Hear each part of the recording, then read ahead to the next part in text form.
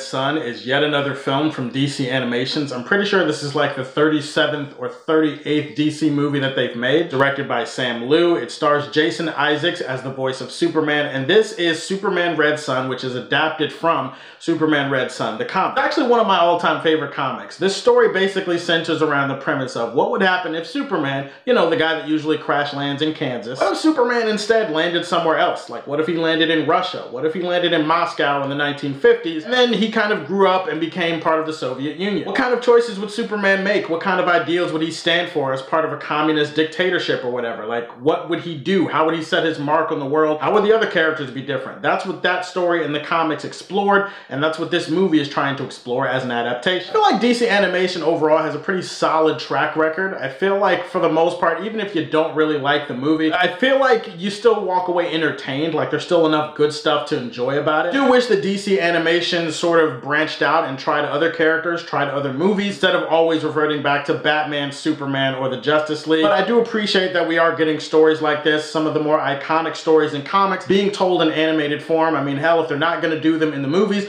might as well explore it in animation. Things I liked about Superman Red Son, uh, I do think that the voice work here is exceptional. Jason Isaacs is perfect as a Russian Superman. It's kind of interesting to see these characters that you know from the comics or other media adaptations and you're sort of used to characters looking and sounding a certain way. Seeing Superman with that iconic Red Son outfit, seeing him with a Russian accent instead of like, you know, American or English or whatever you want to call it. Obviously that's a little bit of a shock to the system and I always like stories that take characters that we like and love, are used to seeing them a certain way and then they portray them in a different way and that goes for a lot of the other characters in this movie. The movie does take place in kind of an alternate story, an alternate what if timeline where if Superman were born in Russia and grew up as a part of the Soviet Union, what would happen and what would happen to the other characters. This movie does involve crossovers with a lot of other iconic characters that you find in the comics. The voice work for all of them is pretty spectacular. Jason Isaacs, in terms of the accent, in terms of his delivery, everything is perfect. I love the voice work for Lex Luthor in this movie, voice work for Lois Lane, love the voice work pretty much for everyone involved. I also want to single out the composer for the music in this movie. I think his name is Frederik Wiedmann or Whedon. I, I don't, I can't remember his last name. I know if I say the name Whedon, a lot of DC fans will get triggered because, you know,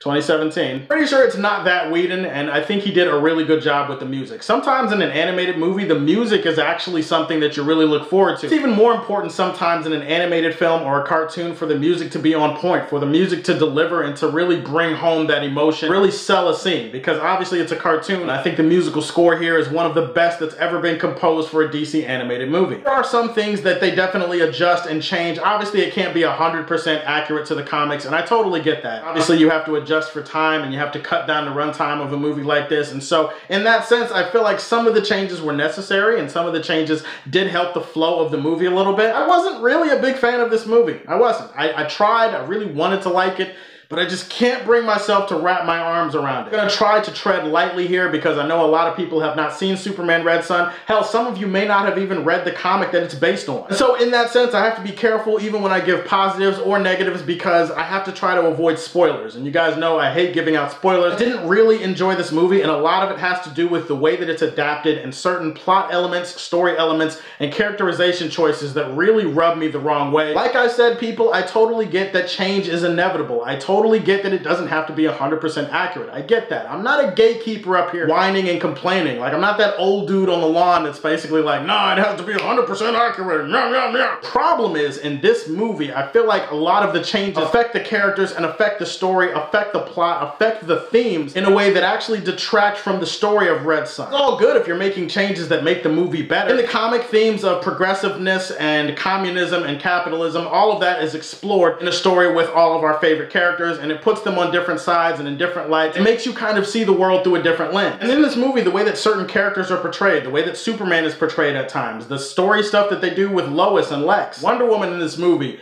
it's almost insulting what they did to her. Again, no spoilers. I'm not going to tell you what it is. I'm not going to let you know any of that. You have to see the movie or you have to read the comic to know what the hell I'm talking about. This, this, this misses the boat and not like in a, oh, the Titanic iceberg missed the boat and we all get to live kind of thing. That's more like they made a change and then they missed the boat and instead of running into an iceberg, they ran into like a random whirlpool that was just in the middle of the ocean. And it sunk the ship down and everybody died. I'm not saying that to say that I felt like dying while watching this movie, but I'm saying that like as an adaptation adaptation, as a film that is trying to adapt a very iconic story, I feel like certain changes and certain things that they did ruined the characterization here. I know that this is an animation style that we're used to, but certain details, the color, the backgrounds, the way that it's drawn, the way that these characters are fluid and move, it all sometimes feels a little bit stiff. It feels a little bit stale. It feels a little bit tired. As someone who hoped that they would keep the essence and the spirit of the comic intact, I feel like they cut corners that actually ended up hurting the story here and hurting the characters. I cannot in good consciousness let that go, so I'm sorry, I wasn't a fan. Red Son was an alright enough watch, but a disappointing adaptation. I'm gonna put this one in the average place on my channel, The Fortress of Solitude. Tell me what your favorite DC animated movie of all time is. Put that down in the comment section below. Please like and subscribe to The Superfan Show, and as always, if you like what you see, tell me how you feel, and stay tuned to hear more from the Man of Steel.